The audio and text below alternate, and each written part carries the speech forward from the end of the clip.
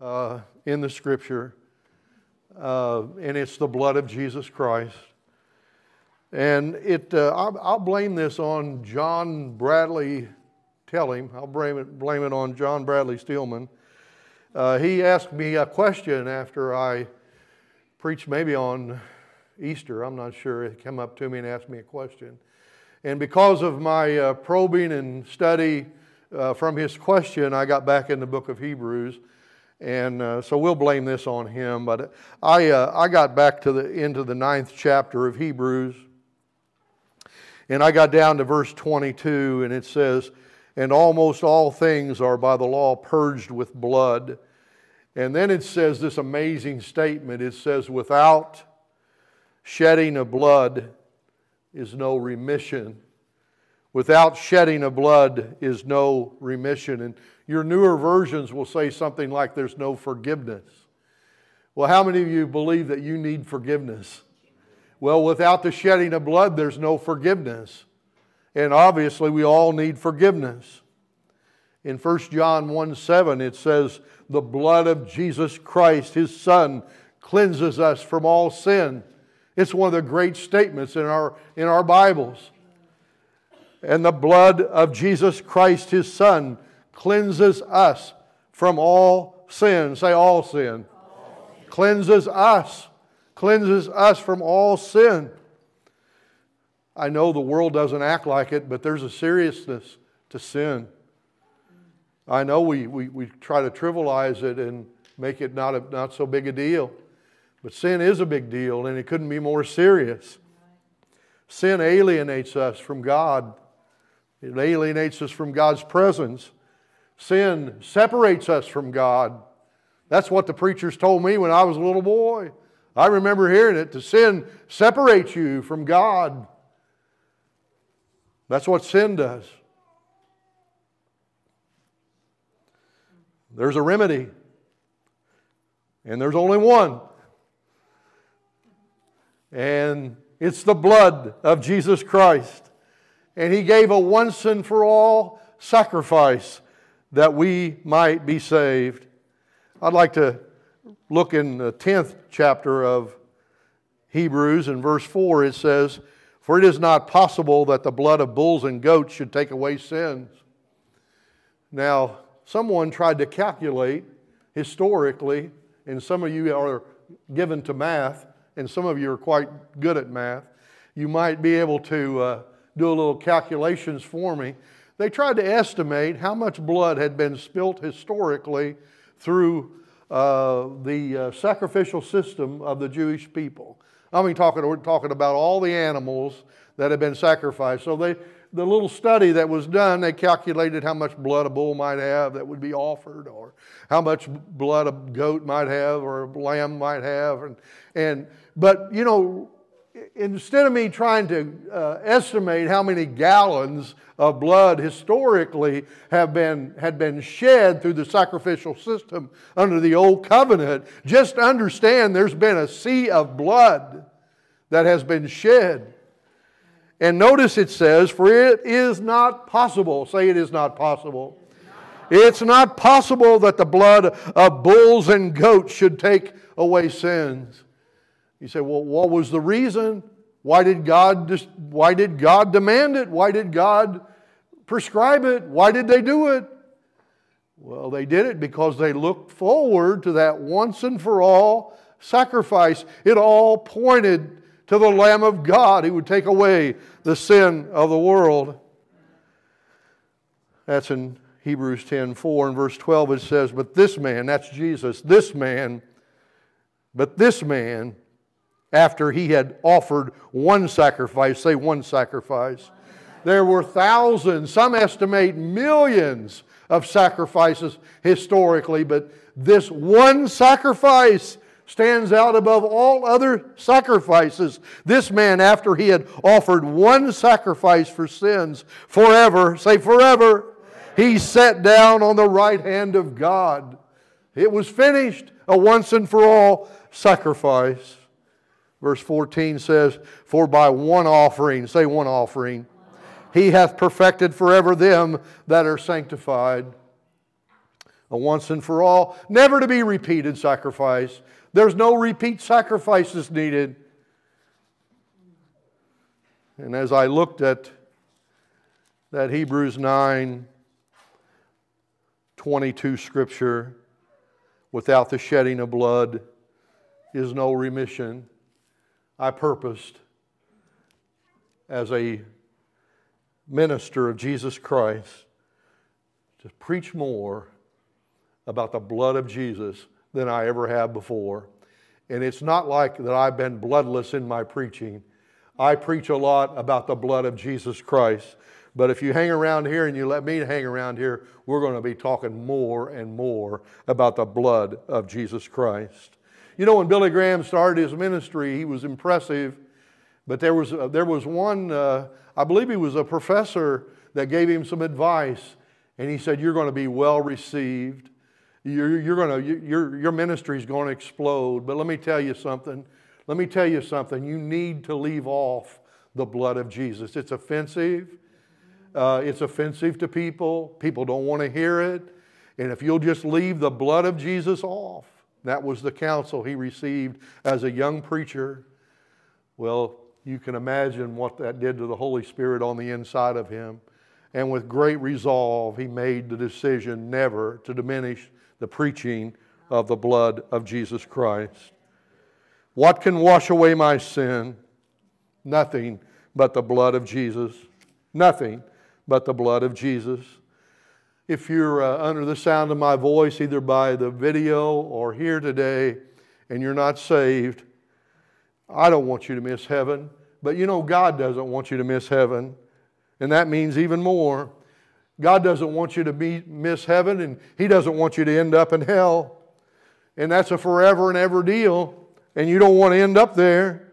You got to know that sal- whatever you've been told, whatever you've been told, whatever you've bought into, understand what the Word of God says. Truth be told, the blood of Jesus Christ cleanses from all sin. Salvation comes only by the blood of the Lamb and you won't make heaven unless you're blood washed. In Ephesians 1 7, the apostle said, In whom, that's in Jesus, we have redemption. Say redemption. Through his blood. Say through his blood. Redemption is through his blood. And there's a comma, and then it says the forgiveness of sins, as if he equates redemption with the forgiveness of sins. Redemption means purchased with a price. And Then we know from Peter's writing that that price was the precious blood of Jesus. We have the forgiveness of sin. It says, according to the riches of his grace. Oh, the riches of his grace sounds phenomenal, doesn't it?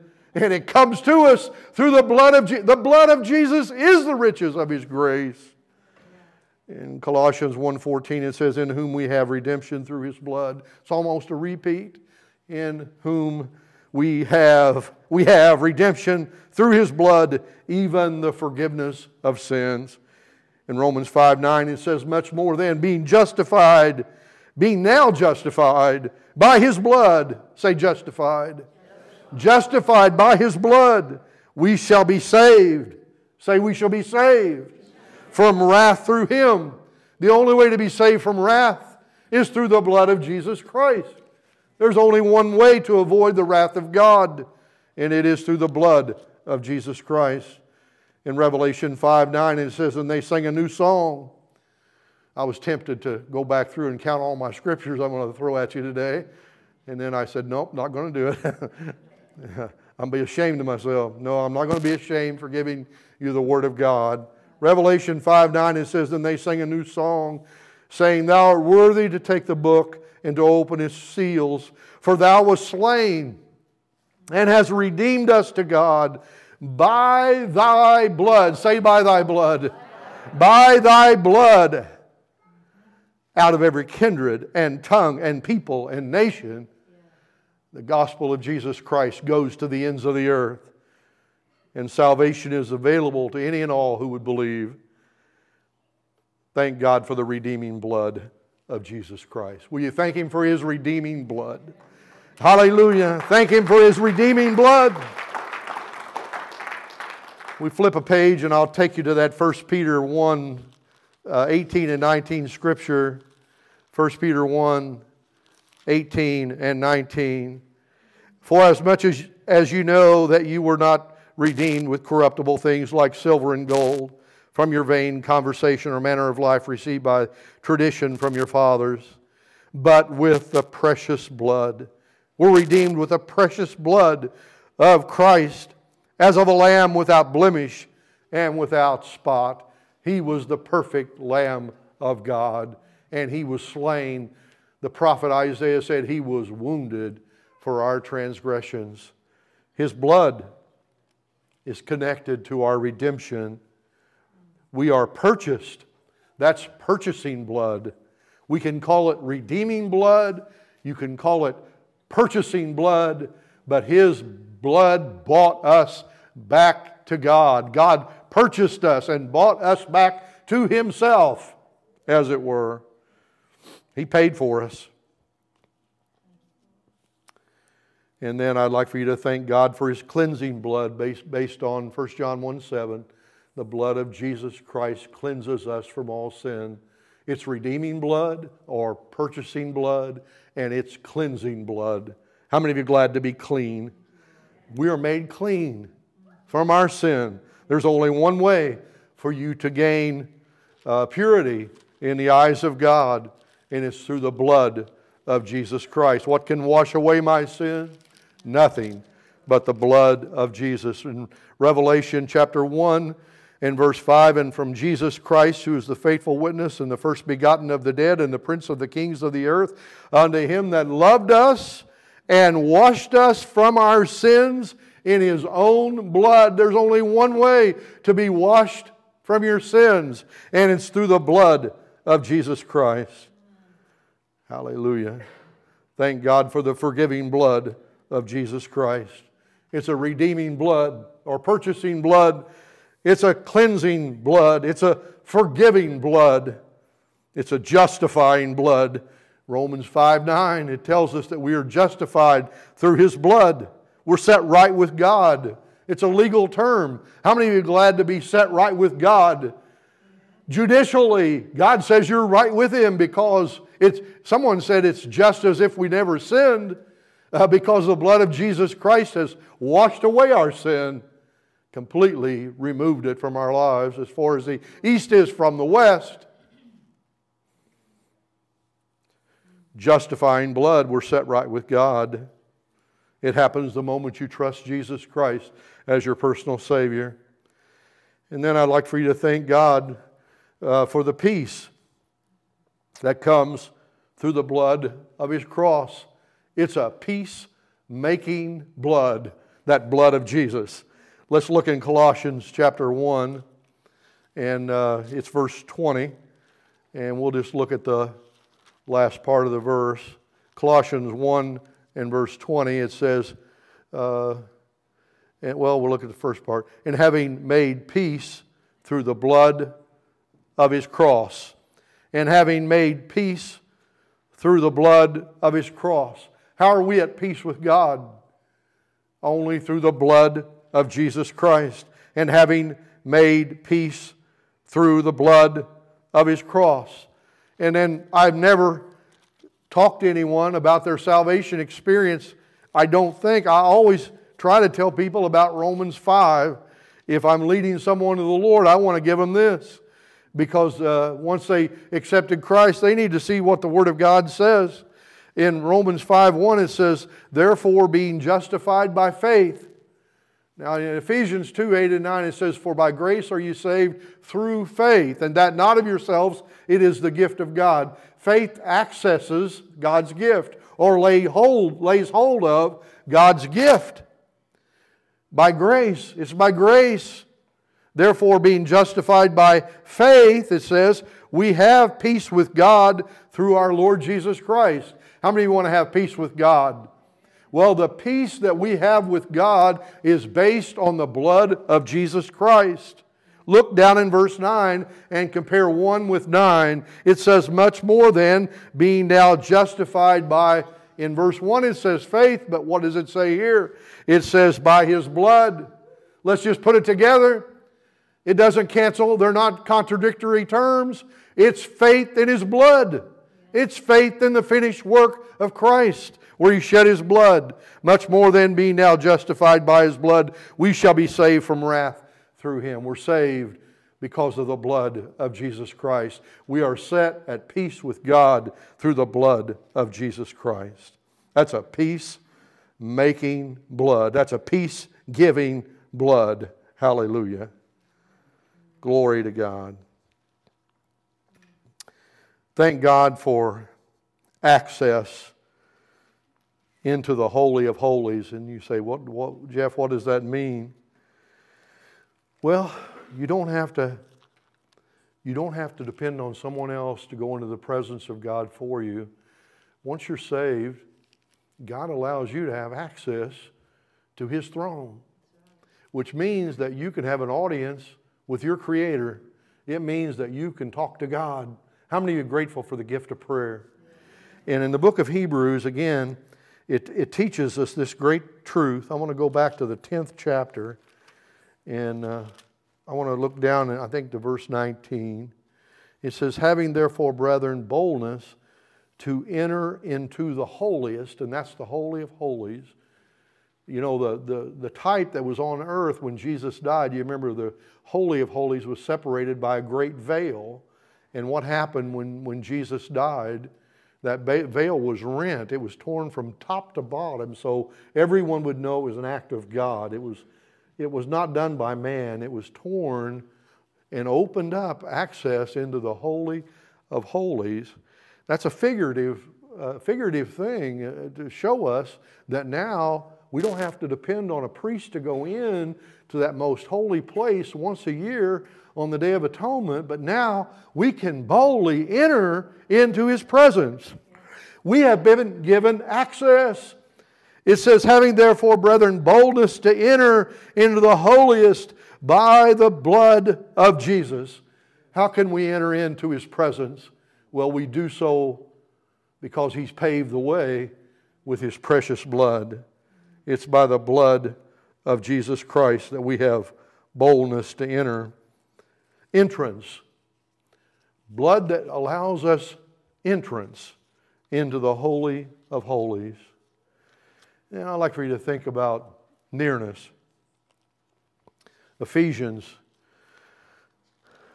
Ephesians 2 and uh, verse 13, it says this. It says, But now in Christ Jesus, you who are one times or once were far off, say far off, are made nigh or made near. And how are we made near? By the blood of Christ. We're made near by the blood of Christ. You probably remember that old hymn. Maybe you don't, maybe you do, but there, there is a place of quiet rest near to the heart of God. You draw me nearer, nearer, nearer to thy precious bleeding side. There's a, there's, God, God has made it possible for you to have intimacy, a closeness, a nearness to the Lord. We have been made, we were once far off. We were once on the outside looking in. But He not only brought us in, He's brought us near, brought us close to Himself. And there's something really special about being near to the heart of God. I'm exploring that a little bit in my study. I'm thinking quite a bit about it. I thought about giving it to you as an assignment. Just what does that mean? I remember once the Holy Spirit whispered to me uh, the, the benefits of nearness. And, and one of the things he said was, when you're near, you can hear. And it means more to me now than ever. because when you're near, you can hear. And sometimes I got to lean in to try to hear people uh, and really focus to try to get it. But I'm telling you, God sometimes, He just whispers, and we need to have an ear to hear what He would say. How many want to hear what God has to say? There's something about nearness. God wants to bring you near. We were at one time apart from Him, way apart, cut off from the commonwealth of Israel, not part of the covenant, but He's brought us near, brought us near, close to Himself. Near, nearness, and it's only because of the blood of Jesus Christ. Maybe one of the greatest truths, and I'm not so sure if this isn't the last reference to the blood of Jesus in your New Testament. You'll have to check me out on that. Fact check me if you want to and let me know if I'm wrong. But uh, in Revelation 12 11, it says, And they overcame him by the blood of the Lamb. Say, blood of the Lamb. You say, Well, why is, it, what is that? What's the big deal about that verse? Well, when it says they overcame him, you need to know who him is. And who is the him? Well, you have to back up. And if you just back up and look in verse 7, it says that there was a war in heaven, and Michael and his angels fought against the dragon, and the dragon fought against his angels. And you said, Jeff, that really in the Bible? Dragons and fighting and that kind of stuff? And, and it says it right there in verse 7. And then it says, And prevailed not, neither was their place found any more in the heaven. And look at verse 9. It's very explanatory on who we deal with in the earth. It says, And the great dragon was cast out, that old serpent who, you know, surfaced quickly in our Bibles in the book of Genesis. That old serpent, the devil, called the devil and Satan, who deceives the whole world, he was cast out into the earth, and his angels were cast out with him. And I heard a loud voice saying in heaven, Now has come salvation and strength and the kingdom of our God and the power of his Christ. For the accuser of our brethren is cast down, who accused them before our God day and night. And they overcame him by the blood of the. How many of you want to overcome the devil? You want to overcome his deception, his accusation, his temptation? If you want to live the overcoming life, what's going to be the secret? the blood of Jesus Christ. It says, and they overcame him by the blood of the Lamb. It's an overcoming blood, isn't it? There's overcoming power in the blood of the Lamb. There's power in the blood of Jesus. Wonder working power in the blood of Jesus. And then, if you can stand to take a couple of more, I want to give you one out of Hebrews chapter 13. And I won't spend a lot of time on it, but I want to give it to you because I think it's important for every believer. In uh, Hebrews 13, it says, Wherefore Jesus also, that he might sanctify the people with his own blood, suffered without the gate or without outside. He was outside the, outside the city. That's where he suffered. That he might sanctify us through his blood Sanctifying has to do with God setting you apart for His purposes. And I believe that your life as a saved individual is set apart for the high purposes of God, the eternal purposes of God. And I believe that's an ongoing process. As you yield to the Holy Spirit, He will use your life as an instrument of His grace in the earth. How many of you want to be used of God in ministry to touch other people's lives? Well, we can't be silent concerning the blood truth of the gospel. I've already given you enough reasons. There's a lot of reasons for us not to be silent. Thank God for the precious blood of Jesus. I hope that we would never seek to diminish the great importance of the blood of Jesus. Let's not, not stop preaching about it. Let's definitely not stop singing about it. Let's make sure that it's, it's part of the doctrine that we believe. You, you know, someone said, You cut the Bible anyway, it'll bleed. Anywhere you want, from Genesis to the book of Revelation, there's a scarlet thread that runs throughout the scriptures. The blood of Jesus Christ is important. Couldn't be more important. But you know what's happening, don't you? There are those that scorn and despise the blood of Jesus Christ. And again, and uh, make sure you tell there he is right there. Did, did you already hear me talking about you? Or did you come in after I was talking about you? I'm blaming all this on you today. you already been told? Okay. Uh, John Bradley asked me a question, I got to study in the book of Hebrews. This is what come out of it. Somebody else sitting back there on the back row asked me a question. I still haven't got done preaching about it on Wednesday nights. But Hebrews 10 29, it's took me from February till now on Wednesday nights. I'm still talking about it. Answered, tried to answer a question. Took me three months to answer a question.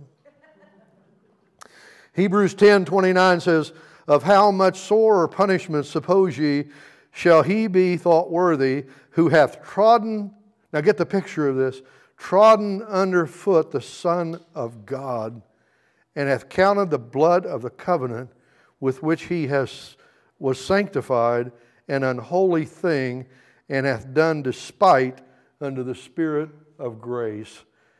That's a frightening scripture. That's a frightening scripture that someone could scorn and despise the blood of Jesus Christ. I prefer you leave here under the blood and not the blood under your feet. I prefer you be under the blood than trample underfoot the Son of God and His precious blood. Make sure the blood is where it's supposed to be. Make sure it's applied to your heart. Make sure you have respect and reverence for the blood of Jesus Christ. The blood is so crucial to all that we believe. I've talked to you about it being redeeming and justifying and forgiving and all those words, sanctifying. There's a whole list of them, weren't there? Peacemaking. The blood is crucial to all we believe, very foundational to all that we believe. I believe it's really the bedrock of our faith. Without the blood of Jesus Christ, we don't have a gospel. And I refuse to be silent, and I will not shrink back, and I will proclaim the blood truth of the Bible until I die and take my last breath.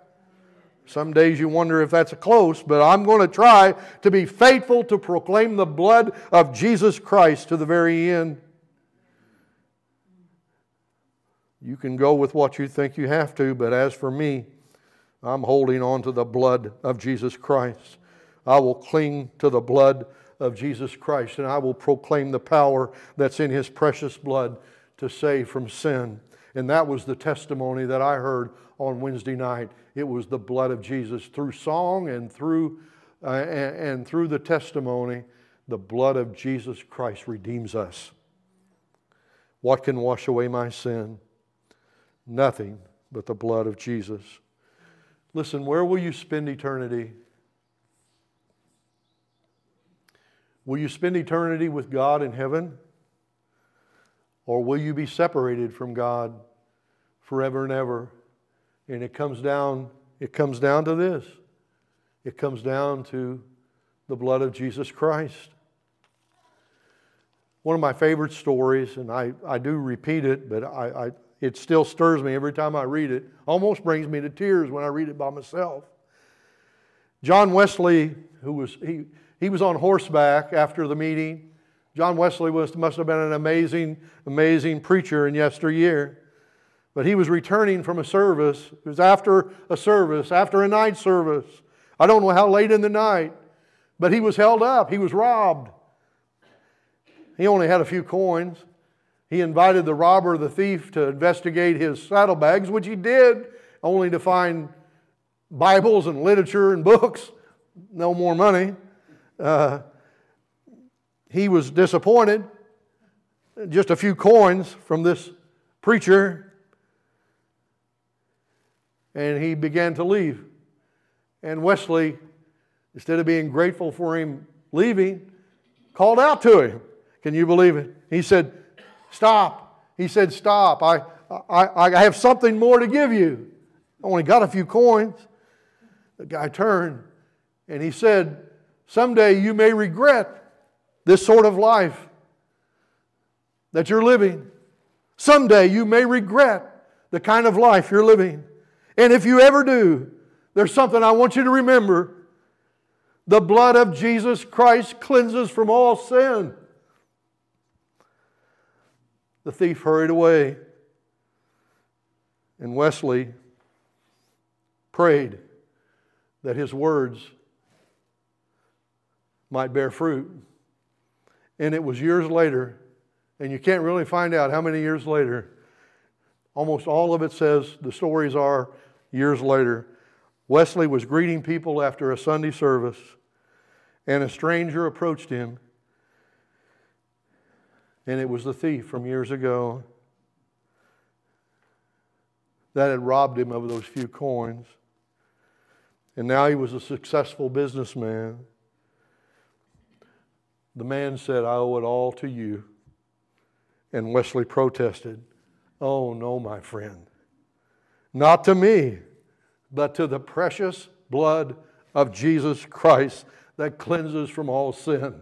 Amen. Hallelujah for the blood of Jesus Christ.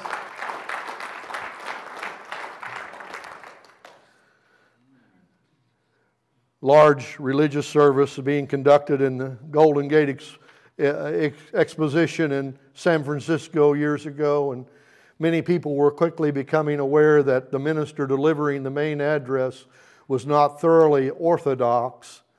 He was a gifted speaker, and he began to direct most of his eloquence against the power of the blood of Christ. Can you imagine that? Speaking against the blood of Christ. And uh, when his fluent oratory ended, a timid elderly lady stood up in the midst of the crowd and softly began to sing the great hymn by William Cowper as a touching rebuttal to the modernist remarks.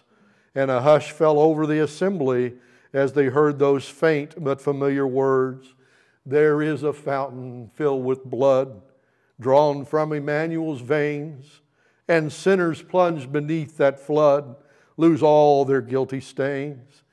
Before she could begin the second stand, stanza, approximately a hundred people rose to join her. By the time she reached the third verse, nearly a thousand Christians all over the audience were singing that blessed song of faith. The triumphant, thrilling strains ring out loud and clear. Dear dying Lamb, thy precious blood shall never lose its power till all the ransomed church of God be saved to sin no more. Many were deeply moved as that humble believer stood up for her Lord and with the light of heaven upon her face gave testimony that she had found peace through the blood of his cross. We live in a sad, sad hour, that's for sure. An hour in which many, both within and without the church, see no need for old fashioned, Bible centered, blood bought salvation. They say things like man doesn't need the blood in order to be saved. That's not true. That's a lie. The truth needs to be told. We live in a time when many mainline denominations have moved away from proclaiming uh, the gospel of Jesus Christ and more of something else, but it's not the gospel of the blood of Jesus Christ. Some have actually removed the blood from their hymnals. What a sad thing. One female theologian by the name of Dolores Williams is alleged to have said, I don't think we need a theory of atonement at all. Well, I want you to know what I believe in the way of atonement is no theory. It is the truth, the whole truth, and nothing but the truth. She said, I don't think we need folks hanging on crosses and blood dripping and weird stuff.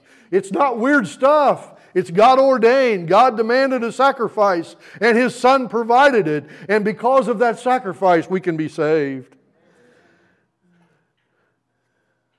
I hope it matters to you today.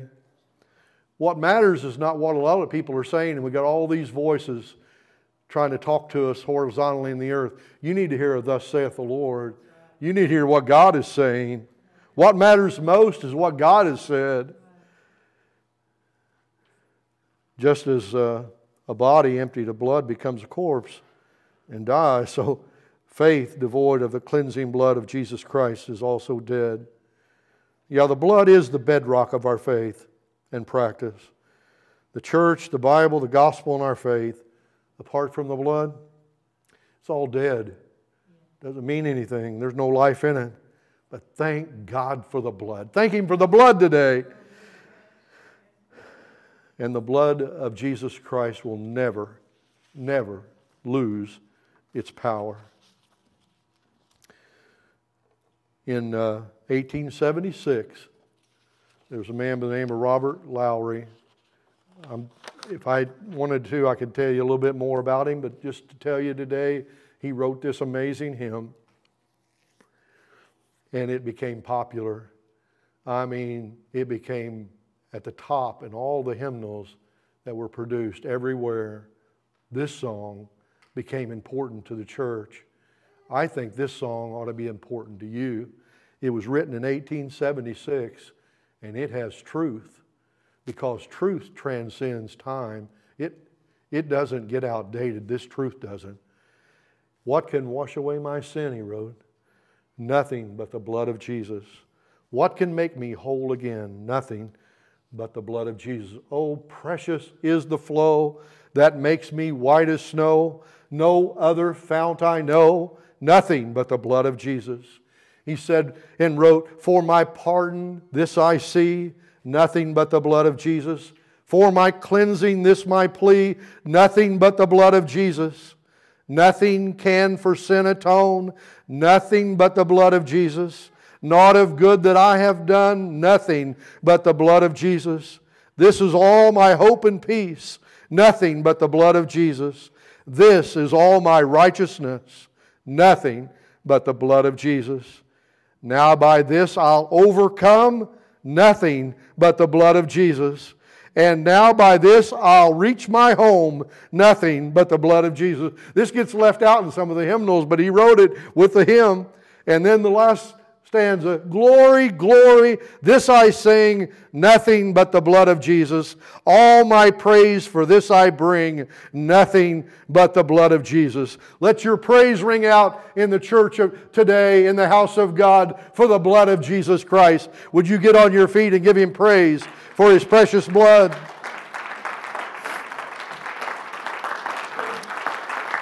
Hallelujah. Hallelujah. Lord, we thank you for your blood. We thank you for your blood that redeems us. We thank you for your blood that, that cleanses us, brings forgiveness to our life, sanctifies us, gives us access into the holy place, brings us near. Thank you, Lord, for the blood that does all of those amazing things that your word clearly teaches. Thank you for saving us from the wrath to come through the blood of Jesus Christ. Thank you, Lord, for making us yours through your precious blood. I glorify your name today, Lord. If there's anyone outside the covenant, if there's anyone that's never believed in the power of the blood covenant of Jesus Christ, we pray today they'll place their trust in Him, in His finished work, in the sacrifice that He made on the cross, where His blood was poured out for us. We give you praise, we give you glory. I pray anyone that's lost today will be saved and come to Christ. Have the promise of heaven, escape the awfulness and horrors of hell in Jesus' name. And everyone said, Amen. Amen. We're going to sing if you need to respond in any way.